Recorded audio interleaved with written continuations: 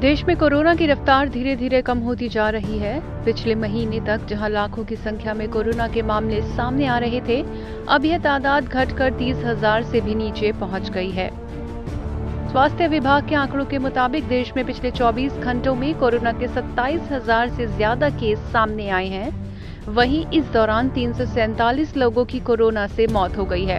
इससे पहले 31 जनवरी को बाईस हज़ार से ज़्यादा नए मामले सामने आए थे। वहीं 20 जनवरी को साढ़े तीन लाख के करीब नए केस मिले थे। ऐसे में जनवरी की तुलना में फरवरी में कोरोना के नए मामलों में काफ़ी गिरावट दर्ज की गई है, जो राहत की खबर है। फ़िलहाल देश में चार लाख तेईस हज़ार से ज़्यादा कोरोना मामलों का इलाज चल रहा है। यह 6 जनवरी के बाद सबसे कम है। वहीं देश में संक्रमण दर भी घटकर दो दशमलव तेईस प्रतिशत पर पहुँच गई है।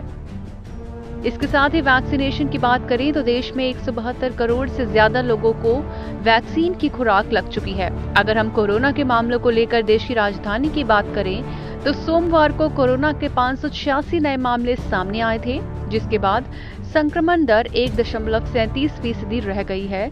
इस दौरान चार संक्रमितों को जान कमानी पड़ी। दिल्ली में कोरोना के कम होते मामलों को देखते हुए छोटे बच्चों के लिए भी स्कूल खोल दिए गए हैं। पहले जहाँ नौवीं से बारहवीं तक के स्कूल खोले गए थे, अब नर्सरी से आठवीं क्लास तक के लिए स्कूल भी खोल दिए गए हैं। लंबे समय के अंतराल में स्कूल खुलने के बाद बड़ी संख्या में छोटे छात्र भी स्कूल पहुँचे थे। इस दौरान स्कूल भी कोरोना गाइडलाइन का पालन करते हुए नज़र आए। आई रिपोर्ट।